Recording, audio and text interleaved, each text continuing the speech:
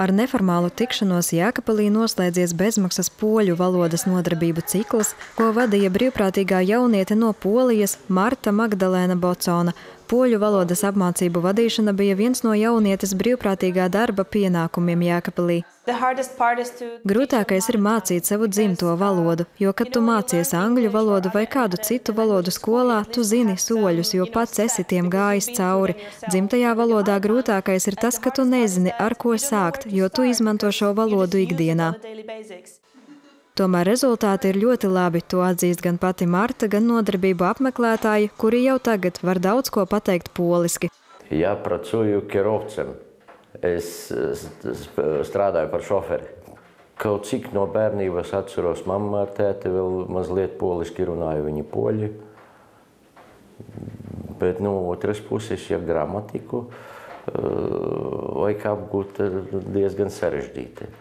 Bet tā, Marta ļoti labi pasniedz. Mums patika ļoti. Piemēram, ir viena kundze gados, kura visu ļoti ātri apguva. Viņa šeit sāka mācīties šo valodu, tagad viņa jau var saprast, ko es saku. Tas ir ļoti iespaidīgi.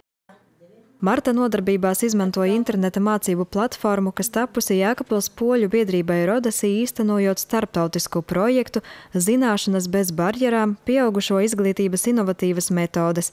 Šī tiešsaistes platforma ir piemērota iesācējiem, kuri vēlas apgūt poļu valodu. Tajā iekļauta valodas apmācība ar skaidrojumiem latviešu valodā.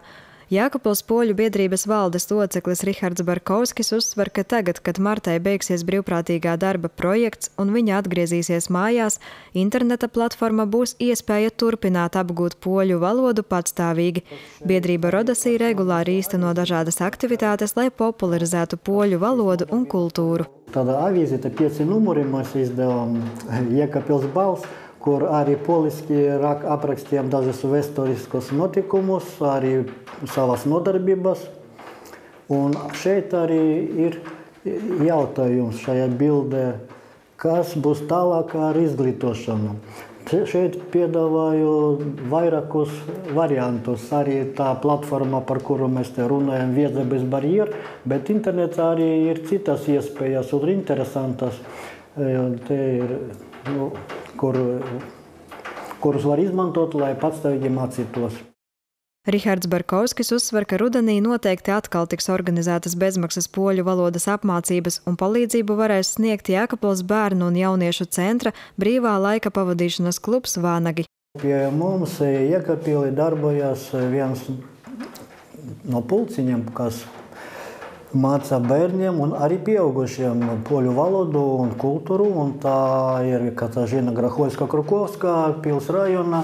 Un tur arī brauc īsts pasniedzējs no Polijas, kur strādā Rezekne.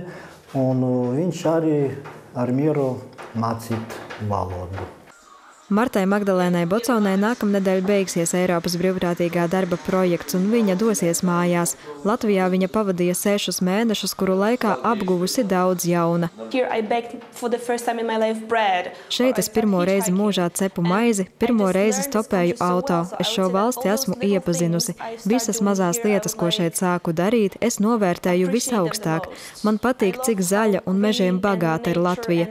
Man patika ceļot pa Latviju un varu teikt, ka viens no skaistākajiem saulrietiem, ko esmu redzējusi, bija tieši Jēkabīlī pie Daugavas. Līdz ar martas aizbraukšanu noslēgsies Eiropas brīvprātīgā darba projekts Volunteers Discovery, kura laikā Jēkabīlī brīvprātīgo darbu veica kopumā septiņi jaunieši no Polijas, Austrijas, Armēnijas, Francijas, Lietuvas un Azerbaidžānas. Sandra Baigļkāne, Kaspars Daņļevičs, Vidusdaugavas televīzija.